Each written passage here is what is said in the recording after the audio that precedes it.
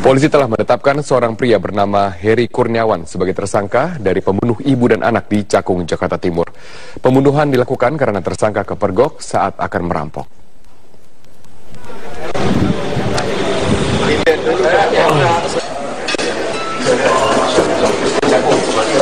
Itu kamu korban. Berapa lama. Apa yang berbicara? Seandainya kan mau yang memperkirakan ada di situ. kayak model rumah handphone itu di dalam dari kamar, kamar keluar dia. luar ya Apa? paling Terus? saya kayak nggak ada barang Anu nggak gitu kali? Nggak apa-apa, ya. Nyari nggak? Nyari di mana kamu nyari? ya mereka nggak ada barang sih saya lihat ke dapur meja Jalan aja. pisau ada di mana dapur kamu Masuk. Hah? Ke rumah mama. Ke sini masuk. Kasih tahu rumahnya nggak apa-apa. Tersangka merupakan pelaku tunggal dari pembunuhan Dayu Priyambarita dan anaknya Yuel Emmanuel yang berusia lima tahun pada pekan lalu. Pelaku membunuh korban karena kepergok saat akan merampok. Tersangka seorang residivis kasus narkoba. Dan berdasarkan tes urin, tersangka terbukti positif mengonsumsi narkoba. Menurut Direktur Kriminal Umum Polda Metro Jaya, Kombes Pol Krisna Murti, tersangka melakukan perampokan setelah mengonsumsi narkoba dan motif pembunuhan murni atas dasar perampokan. Baik pelaku dan korban juga tidak saling kenal. Tersangka ditangkap di pabrik baja di Pulau Gadung, Jakarta Timur pada Kamis pagi. Apa itu? Pohon pisang itu.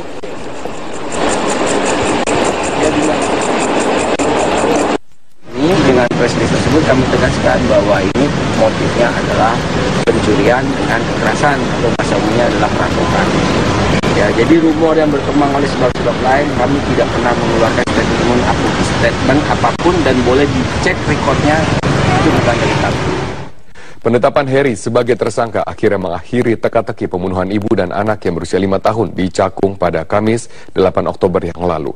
Heri adalah tetangga korban yang tinggal tepat di belakang rumah korban. Kasus pembunuhan ini bermula ketika Heru Pujo Leksono menemukan istrinya, Dayu, dan anaknya yang berusia lima tahun, Yuel, tewas akibat luka tusukan senjata tajam di dalam rumahnya di kawasan Cakung, Jakarta Timur. Kedua korban ditemukan tergeletak di bagian kamar utama sekitar pukul 6 sore ketika Heru pulang kerja. Polisi kemudian membawa korban ke rumah sakit Polri Kramat Jati untuk dilakukan otopsi. Dari pemeriksaan diketahui korban mengalami luka pada bagian leher, punggung, dan dada. Sementara anak korban memiliki luka terbuka di bagian leher. Polisi juga melakukan olah TKP dan menerjunkan anjing pelacak untuk mengendus jejak pelaku. Beberapa saksi juga dimintai keterangan, termasuk suami korban, Heru Pujo Loksono. Total ada 20 orang dari lingkungan tempat tinggal korban yang dimintai keterangan sebagai saksi. Pada Minggu 11 Oktober, Kapolda Metro Jaya membentuk Satgas khusus bersama dengan Polres Jakarta Timur dan Polsek Cakung untuk menangani kasus ini. Satgas dibentuk untuk membongkar motif pembunuhan dan mengungkap dugaan bahwa pembunuhan tersebut sudah direncanakan. Penyelidikan polisi akhirnya mengerucut pada sosok Heri, seorang tetangga yang tinggal tepat di belakang rumah korban. Heri yang sehari-hari bekerja di pabrik besi di kawasan Cakung ini dibawa oleh tim Buser Polda Metro Jaya pada Kamis 15 Oktober kemarin atau satu pekan pasca penemuan korban. Pada Kamis malam kemarin, Heri sempat menjalani prarekonstruksi di tempat kejadian perkara. Setelah menjalani prarekonstruksi, ia kemudian dibawa kembali untuk diperiksa di Mapolda Metro Jaya. Hasil pemeriksaan awal menyeratkan motif pembunuhan bukanlah perampokan, melainkan terkait amarah yang disebabkan oleh dendam. Meski demikian, polisi masih terus mendalami motif pembunuhan ini. Tim Liputan Metro TV. Kita beralih ke informasi sidang perdana kasus pembunuhan Angelin siap digelar pekan depan. Berkas perkara dengan tersangka Magrit Megawe dan Agustinus Tai Handamai telah dilimpahkan ke Pengadilan Negeri Denpasar.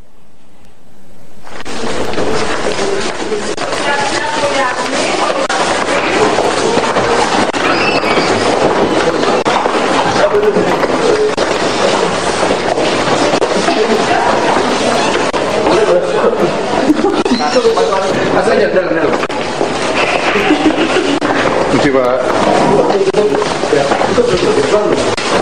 Berkas kedua tersangka pembunuhan Angelin telah diserahkan Kejaksaan Tinggi dan Kejaksaan Negeri Denpasar kepada Pengadilan Negeri Denpasar. Iya, dari pagi nunggu. Pak Ketua ada?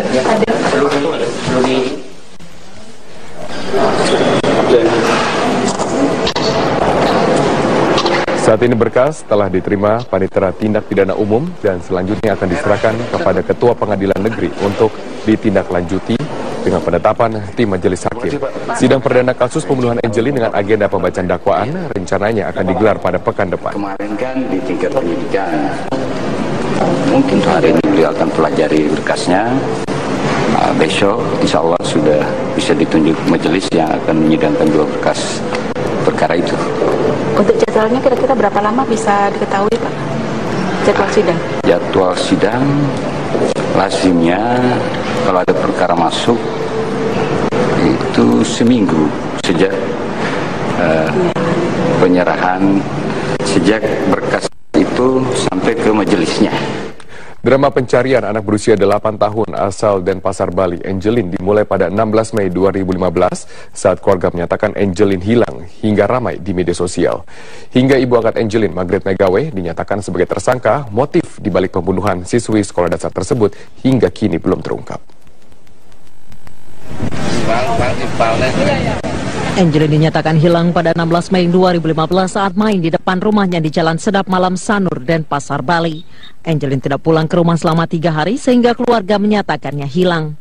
Keluarga memposting berita hilangnya Angelin ke media sosial yang kemudian menjadi viral dan beberapa kali menjadi topik pembicaraan di media sosial. Angelin adalah anak angkat pasangan Margaret Megawe dan suaminya, seorang ekspatriat yang meninggal dunia tiga tahun lalu. Angelin diadopsi sejak berumur tiga hari dari kedua orang tuanya yang memiliki masalah finansial. Sejumlah menteri yang tergerak dengan kisah Angelin bahkan sempat mendatangi kediaman Angelin untuk menunjukkan rasa simpatinya. Namun kedatangan mereka ditolak oleh pemilik rumah dan tidak ditemui oleh orang tua angkat Angelin. Pada 10 Juni 2015 saat polisi melakukan pemeriksaan ulang di kediaman Angelin, polisi menemukan jenazah Angelin dikubur di pekarangan rumah.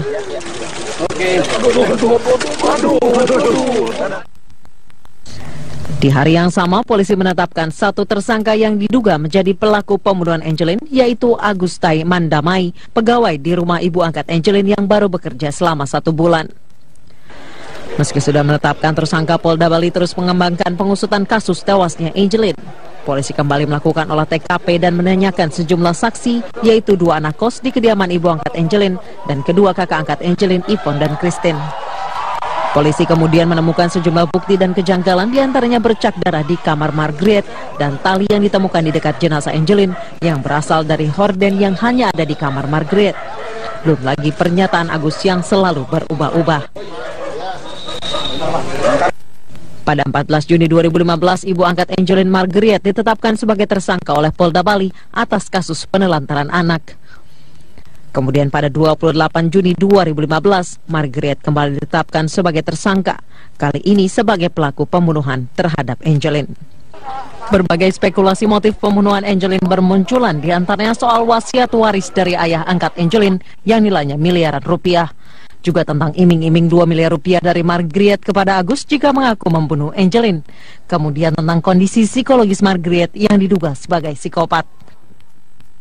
Hingga kini motif pembunuhan Angelin masih belum terungkap jelas. Berkas perkara pembunuhan Angelin telah dinyatakan lengkap atau P21 oleh Kejaksaan Negeri Denpasar. Persidangan kasus pembunuhan Angelin akan segera dimulai untuk menguak kasus alasan pembunuhan anak berusia 8 tahun tersebut. Tim Liputan Metro TV. Kita beralih ke informasi. Setelah sempat pulang ke rumahnya di Desa Selok Awar-Awar, Pasirian Lumajang, Tosan, korban penganiayaan puluhan warga pro tambang pasir ilegal, terpaksa diungsikan. Demi keamanan, polisi memindahkan Tosan ke tempat yang dirahasiakan. Sejak Kamis malam, Tosan diungsikan oleh Lembaga Perlindungan Saksi dan Korban dari rumahnya di Desa Selok Awar-Awar, Pasirian, Lumajang. Pihak keluarga tidak mengetahui lokasi perlindungan Tosan. Namun dari informasi petugas, Tosan akan menjalani kontrol kesehatan. Petugas berdalih meski kondisinya membaik, Tosan perlu mendapatkan perawatan medis lanjutan agar nanti saat menjadi saksi penganiayaan terhadap dirinya dan pembunuhan yang menimpa Salim Kancil, ia tidak menemui kendala. Keluarga sendiri mengaku tenang, Tosan mendapatkan perlindungan dari petugas, apalagi di saat rumah Tosan jarang beristirahat karena banyaknya tamu yang datang. Hingga saat ini rumah Tosan masih dikunjungi berbagai pihak yang berempati terhadap nasibnya. Petugas gabungan Brimopolda Jatim, Polres Lumajang, dan Satpol PP terus menjaga rumah Tosan. Polres Lumajang kembali menetapkan lima orang yang masuk dalam daftar pencarian orang atau DPO terkait dengan kasus pembunuhan aktivis anti tambang Salim Kancil. Kapolda Jawa Timur berjanji akan mengusut dugaan keterlibatan pejabat penting dalam aktivitas tambang ilegal ini.